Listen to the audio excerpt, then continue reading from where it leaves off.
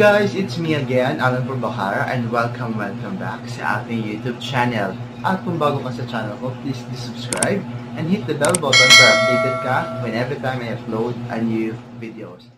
Sa videos na to, um, alam ko na maraming na nakagawa nito, pero gusto ko din itong gawin sa channel ko para na din uh, ma-share ko din sa mga nagsusubscribe sa akin at sumusumuporta sa akin. And then dun pa sa mga gustong uh, makapanood ko paano to siya ginawa. So, so sa video na to, ipapakita ko kung paano to siya dinownload at saka in-install sa phone ko. So, ang pangalan pala ng application na to is ito, SARSWAR or cleaning ibang uh, na tawag sa kanya. This uh, application is a new editorial for videos na usually na ginagamit sa mga nag-TikTok. Tama po. Um, kasi karamihan po kasi sa mga nag-TikTok na yun na nakikita po at nag-appear po siya sa screen ko is yun yung pong parang ang daming bagong effects niya. And then, yes po, kasi ako nagtitiktok din ako. Okay? So, simulan na natin. Hey guys, good evening. And for this uh, video tutorial, um, ituturo ko sa inyo kung paano i-download or i-install yung bagong editor ngayon na usually na ginagamit sa mga nagti-TikTok, especially ako kasi ginagamit ko na din siya ngayon. Nakita ko lang din naman to sa mga um, sa TikTok videos ko na parang iba yung effects na ginagamit nila. And then may nakita din ako doon na may mga hashtag sila nga ito daw yung dapat na gamitin na applications. So, trinay ko siya kagabi and it's good naman. So, papakita ko sa inyo dito sa folder ko. Dito yung TikTok at saka ito yung bagong um, apps na ginagamit pang edit ng video ng TikTok. So, ito siya. Ayan.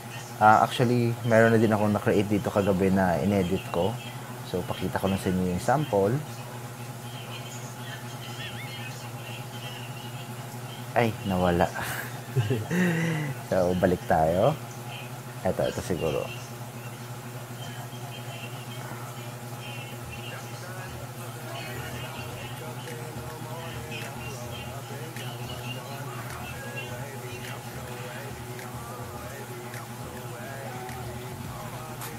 So, ayan, uh, simple video editing na yan. Isa yan sa mga um, highlights ng bagong editorial na to. So, balik tayo.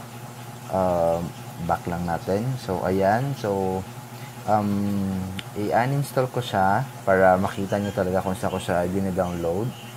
So, ayan, wala na siya. So, punta lang tayo sa Google. Punta lang tayo sa natin. Yan, may naka uh, parang naka previous search na siya kasi sinearch ko sa kagabi. So, kopyahin lang natin yung link na yan. Hindi natin yung ipindutin na lang. Automatic lalabas na yan. Yan. So, kung makikita nyo, dalawa sila. Itong, itong httpm 1juha.com at saka itong appxiaomi.com. So, kadalasan sa mga ibang tutorial, dito sila sa pangalawa ito yung kiniklik nila para i-download siya. Eh para sa akin kasi napak ah, nahihirapan ako kasi ang dami pang parang pa, ang dami pang process, proseso na dapat mo sundin bago mo siya ma-install. So yung ginawa ko is ito yung i-app na xiaomi.com dito dito na dito ko na lang siya kukunin. So i-press na lang 'yan and then lalabas 'yan. So kung makikita niyo itong green button, pindutin niyo lang 'to. And then, yung maglo-load siya. And then, ito, may lalabas siya nga, do you want to download? I-press mo lang itong download button. And then, yan, nagda-download yung file na siya. So, as you can see, kung i-check mo siya dito, ewan ko kung sa mga ibang phone ganito, kasi sa akin ito, lumabas siya na itong com.lemon APK. Nagda-download siya. So, yan na yung application na ida-download natin actually downloading na siya. So, hintayin na lang natin na ma-reach siya ng 49.01 MB. Ayan. So, hintayin lang natin ha. Konting patience lang. So, i-check natin ulit. Ayan, mga 45.29 na siya. So, malapit na siya. And we're close. Ay, yan na. Okay, so ayan, completed download, complete na siya. So, i-press nyo lang yan. But I'm not sure kung yan yung lalabas niya. Pero sa kanya yun, yun yung lalabas. Eh, ganyan. So, yan. Makita nyo, i-install nyo lang siya. So, installing na siya. Hintayin na mag-install.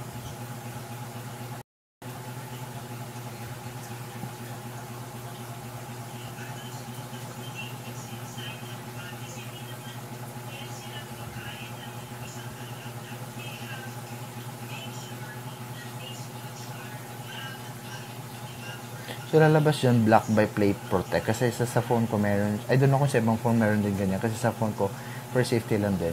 So, i-install anyway mo lang.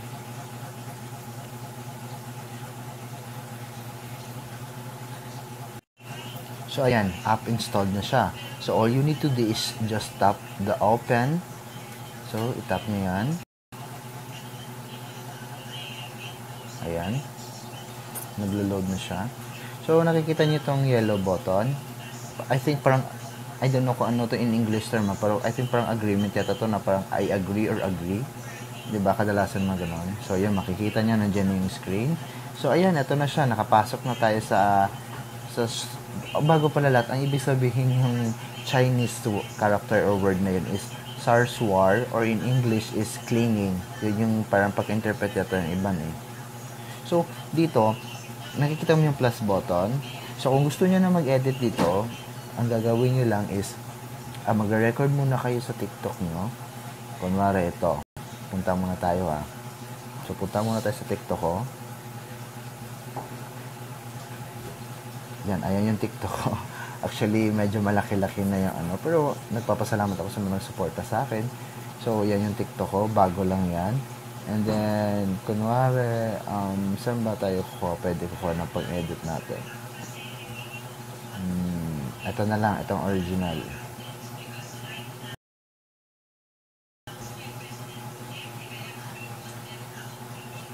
So, kunin natin. So, ayan, kunin natin yan. I-save videos natin yan.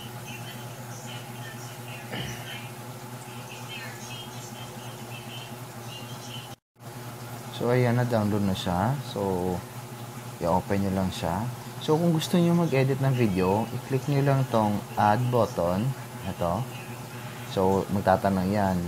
Allow this character to access your photos, medias, and file. I-allow nyo lang kasi pag i-deny nyo siya, hindi siya magpuproceed. So, ayan. So, kunwari, um, ah, meron na pala ako na si dito. Ito, gusto natin itong i-edit. Oh my God, may nakita. Wait lang.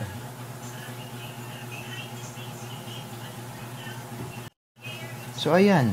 Uh, natapos na siyang i-download. Natapos na din siyang i-install. So, pag i-clinic nyo yan, yan yung lalabas. Kung, actually, naglagay na ako ng video dito. So, kung ipi-play mo siya, actually, may effect na siya.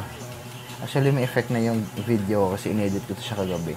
Pero kung gusto niyo siyang dagdagan or lagyan ng effects, uh, punta lang kayo dito. So, kita nyo itong may star. Ito. Yan. Pindutin nyo lang yan.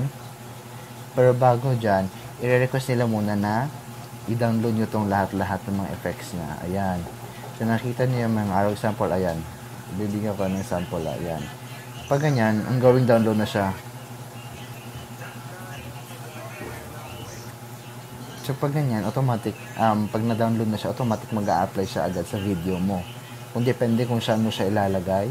Then, ito, meron din na yan, makita mo, lahat ng nakikita nyo sa TikTok videos ng mga nagti-TikTok, andito lahat.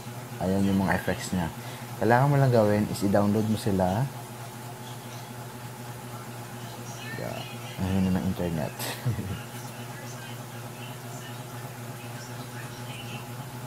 Ayan. Sa mga kita mo, ayun yung mga effects. Yan. Ano lang talaga ng medyo patience lang pag ano. Kasi parang, so, I think sobrang bigat ng applications na to. Kasi 49.01 MB. And then, ayun o. Oh. Yan na. So, ayan. Kanwa, try natin yan. So, pag nag-okay na yun, nag-upload na yan, automatic yung papasok agad yun sa video mo.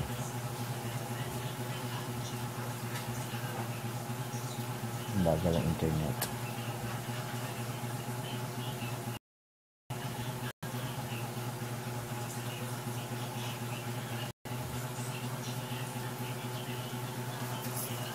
So, yun lamang po um, for this video. Uh, pinakita ko lang po sa inyo kung paano siya i-download, paano siya i-upload. So, for another for another video na kung paano ko in-edit yung video ko, sa susunod na lang ipapakita ko sa ituturo ko din sa inyo paano mag- kasi um, i-upload, i-download ko muna tong lahat na to para mabilis lang tayo makapag-edit. Kailangan ko kasi i-download tong lahat-lahat na to. Yan. So, sana nakatulong tong video tutorial na to sa inyo para sa mga susunod na pa ng mga TikTokers beginners dyan na gusto na gumanda agad yung TikTok videos nila. So, ito yung best way na editor para may apply nyo sa TikTok videos nyo. So, salamat po sa panonood.